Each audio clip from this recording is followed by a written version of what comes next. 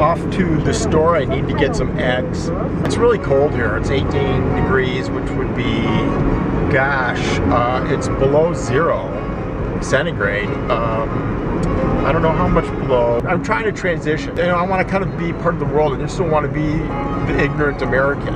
And by the way, that's what I think I'm going to call my travel channel. Not sure that's, don't quote me on that yet. It's uh, a working title. Something me, something for me to think about. I think there's lots of fun things that could come off of the idea of an ignorant American.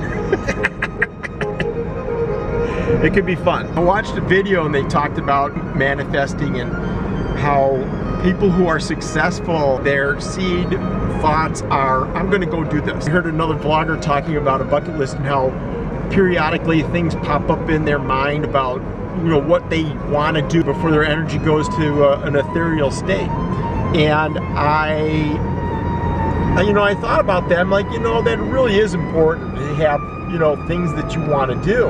I want to manifest a life that I am enjoying. My last video, I fell and I was complaining about my, my thinking.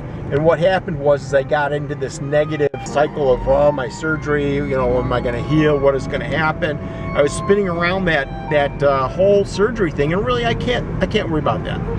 The surgery is going to come. It's going to go. I'm going to be go through therapy, and one day I will be walking down a path holding this phone talking to you about my new adventure. Sometimes this camera doesn't focus. I'm not exactly sure what it is that makes it focus or not.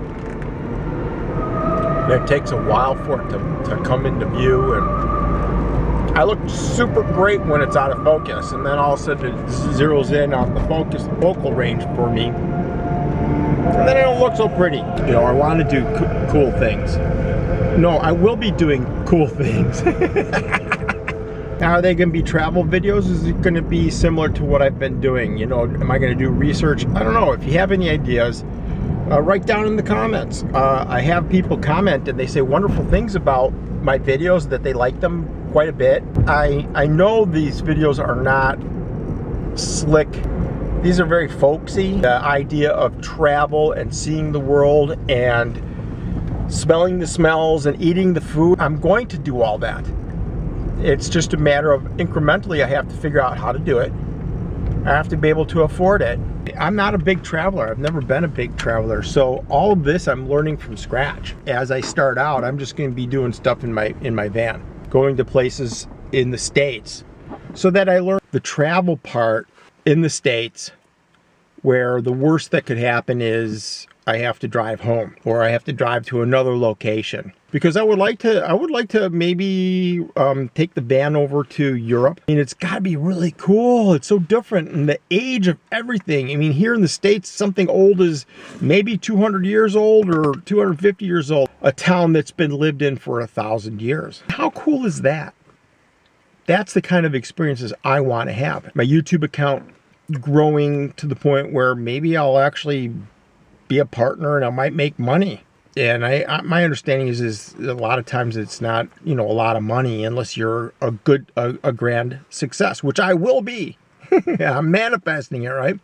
I'll be a grand success. I want to say thank you very much for watching my videos. I appreciate you all, and I will see you in the next one. Bye for now.